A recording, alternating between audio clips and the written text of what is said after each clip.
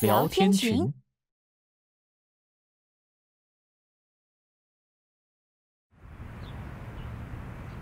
好在没被他看出自己和修真有关的事情。想起那背后调查我和我家人的人，害人之心虽不能有，防人之心不可无呀。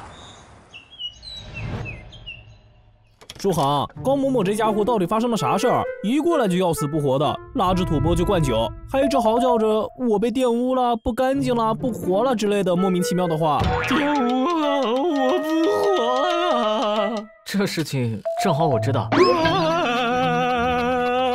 嗯，哎，对了，朱航，我们学校要开运动会了。哎，另外有个苦逼的男子五千米长跑，没人自愿参加。啊，那是当然。最后就落到了当时请假没来上课的某人头上。提示一下，某人姓宋。我能爆粗口吗？坑呢！五千米会跑死人的好不好？报啥也没用了，运动会的名单已经递上去了，你就乖乖去跑五千米吧。呃，等下，如果两天前或许真会跑死，但现在区区五千米真不在话下。好吧，区区五千米，这个额外的学分宋某拿定了。哈哈，好欺负，干！不仅是身体素质变强了，连酒量也变得海量起来。把他们搬上床后，还是回宿舍休息吧。看看群里聊天了没？本天师算算时间，再过些时间就是白真君满一百五十年闭关结束的时候了吧？白真君乃是闭关狂人，真乃我辈楷模。这次出来后，应该距七品灵尊不远了吧？估计过不了多久，就要称呼白前辈为白尊者了。最重要的问题是，白真君出关后肯定会联系我们吧？到时谁去接他？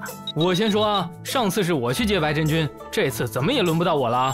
听他的口气，似乎去接出关的白真君。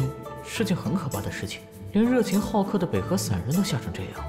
白真君，我最近感觉自身境界已经蠢蠢欲动，准备去闭几年的关，大家勿念。三浪，你骗谁呢？你前不久才提升到灵皇境后期，距离突破还早得很吧？我最近有了奇遇，所以境界要飙升了。不管你们信不信，反正我是信了。嗯，反正接下来我要去闭关了，有事没事都勿念啊！你们急什么？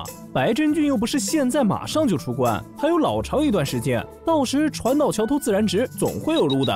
算卦的，莫非你已有妙计？哼哼，山人自有妙计，但是绝对不会告诉北河你的，你就死心吧。可恶，有种预感，若是现在插口说话，会惹麻烦上身的。嗯，我还是睡觉吧。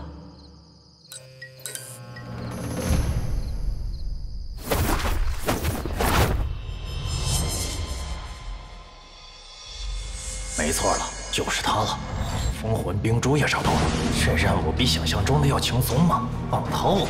单单取回灵鬼，最多只能算完成了坛主的任务，获得一些奖励。若能将宋书航的人头一同带回去，说不定能得到坛主的大力赏识，获得更深层的功夫。怎么回事？忽然一阵剧烈的眩晕感，这种感觉是中了剧毒。该死，毒在什么地方？我是什么时候中的？不行，必须马上回坛主那去。趁着体内的剧毒没有完全爆发之前，请坛主救命。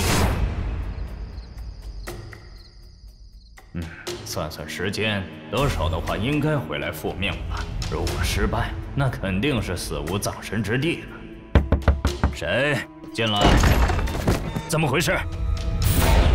是毒！糟了，我也染上了。这剧毒霸道至极，竟然融入下属的血液中。那宋书航果然不是凡人，仅仅是散发出来的血腥味中都带有剧毒。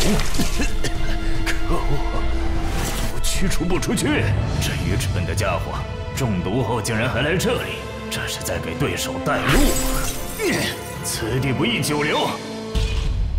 啊啊！什么味道？血腥味！而且卧室的门竟然开启着。主播他们也没有回来，难道遇小偷了？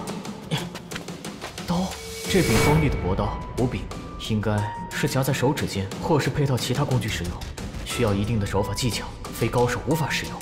小偷可用不着，也没实力用这种偏门的凶器，加上空气中弥漫着的血腥味，对方不是小偷，不为财，那就是要命。想取我性命的人，或许跟在学校搜集我信息的家伙。脱不了干系，那些不良只是普通人，不至于找杀手。药师的尾随者大多有求于他，也不大可能。除此之外，也只有雨楼子的世界了。说来奇怪，当初父亲封印的只有一只灵鬼，不知为什么变成了两只。嗯，灵鬼可不会生孩子，难道是有人特意将灵鬼放入鬼灯寺培养？